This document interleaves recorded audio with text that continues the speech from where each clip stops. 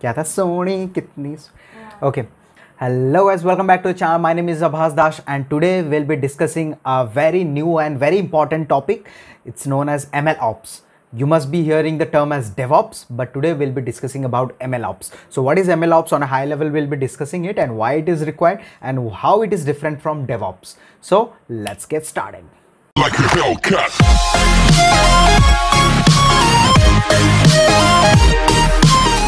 So prior understanding ML ops, let's understand what is DevOps. So what is this? This is continuous development and continuous delivery of the projects or software, whatever thing you do. Okay, so we say it as CI/CD model. So what comes as a part of CI/CD model? So there is like you know development. First of all, there is development. There is prior development also there must be i'm not going deep diving into it there must be you know information gathering and different kind of thing like project planning and all. So let's talk about what are the important steps here. So one is development then you know then testing then staging then you know then deployment uh, you know deploying in the production prod. Okay so these all things are done through a agile methodology okay it might be agile it might be waterfall. Most nowadays most of them are not using waterfall they are using agile methodology. So it's a continuous integration and continuous deployment or development model.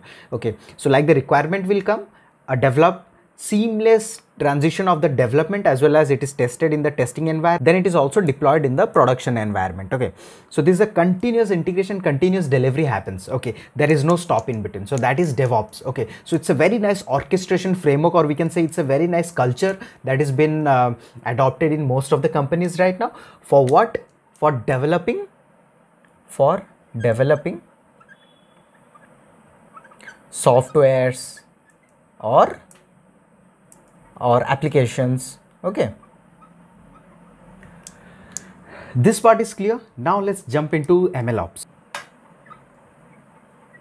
Ml means machine learning and ops means operation. Here also development uh, and operation. Uh, so this is an integration of development as well as operations so that it brings us a seamless orchestration of the production of the software or any kind of uh, applications we can say. So what happens in ml ops if also you do not know what is ml ops or what is ml do not worry. I have a separate video on this like what are the types of machine learning. You can just click on the i button to see this.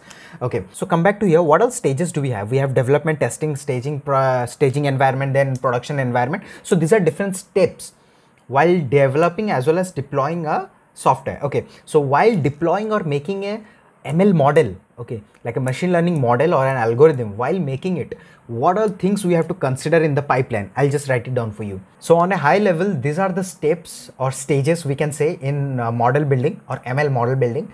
We have like gathering of the information first like gathering the data then analyzing then validating the data validation then building that model then training that model to way to work on a specific way then rolling out monitoring the model again and again. So these are some of the high level stages. I'm not deep diving into it. So these are all the stages that we consider in a ml model building. But there is one slight change here that makes the whole together different ml ops and devops is like only one thing that ml models or ml you know ml algorithms they need retraining of that model and when I tell it as retraining of the model, what do you mean by retraining of the model? Like in ML model, what happens is like the data is not same throughout the lifespan, but in DevOps, you create once the software, you create once the application, it will be same and it throughout your lifespan. There must be an updates coming as per the bugs or anything else or as per the feature, the update will happen. And since it is a CI/CD, so the continuous you know upgrades happen. But in ML ops, the training part is been done again and again. The retraining of the model is been done. Why? Just because the data that is been gathered to train the model must be different in each and every year. The behavior of the people must be different. As per the year coming again and again the data is also differing. There is a difference in the data. That's why the model has to be built up. And you must be knowing this the more amount of data that is been given into a tray uh, into a ML algorithm, the result is much more better. So that is the reason you have to retrain again and again so that it will get more and more amount of data. And when there's a much more amount of data, then the output will be much better. So now why this concept erupted as a different thing? Okay, this concept erupted just because there is additional retraining of the model is required. And second thing is the employees or data scientists, those are working for gathering information and making these ML models, they might not be knowing everything about operations okay. So it, it becomes really tough for them to work as an in ml model year by year taking all the data and retraining it because definitely ml models degrade as per the year. It's very harsh for them you know to learn both of the things and concentrating in both of the aspects. So that is the reason there is difference in the devops and ml ops. I'll tell you some of the examples of uh, ml ops applications uh, like kubeflow. There is one there is one DataRobot you can just check this out in uh, google or any uh, youtube also. You might be finding some of the dedicated videos on this particular uh, applications or uh, platforms. And there is another thing as ml flow so there are like different kind of books also published on this like how can you inculcate this particular culture in your system in your companies?